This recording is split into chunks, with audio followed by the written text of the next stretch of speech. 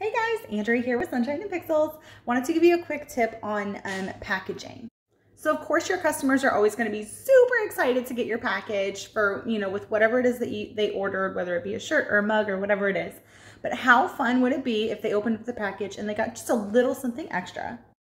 It's just something small that makes you stand out from the other mail that they got, their bills and anything else that they got. Let me show you some ideas of some things that you could do to make your package stand out. So you can see I always put a picture of myself because I want to make it personal.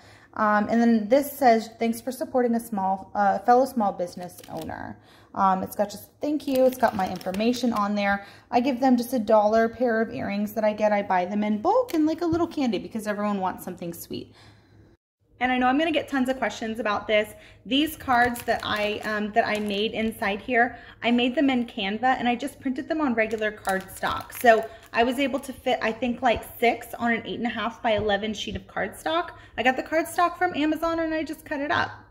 I have a huge pack of peppermints here. Also shop on Amazon.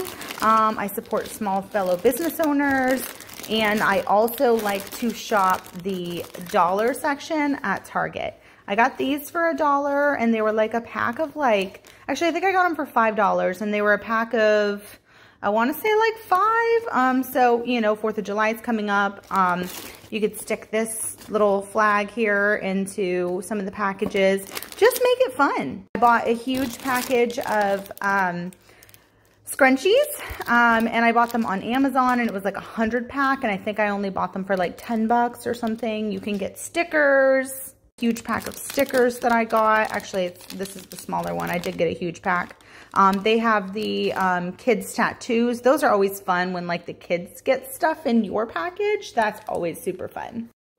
So I encourage you to make it fun, buy in bulk. There's tons of small businesses that offer stickers and things like that. Um, I definitely uh, encourage you to support those businesses. Um, for things that you can't find, look on Amazon. Target's really great. Michael's has a discount section too, or any craft store that's around you. Just make it fun. I buy in bulk. Um, and I have a huge basket of stuff that I've bought. I have Christmas pens.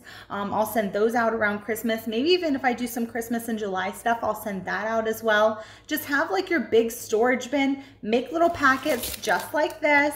Um, put them together. That way it's just a quick grab and go and you don't even have to think about it. I hope this tip helped. Um, if you guys need any transfers or anything like that, check out my website. Um, but yeah, I hope this helped. Have a good day.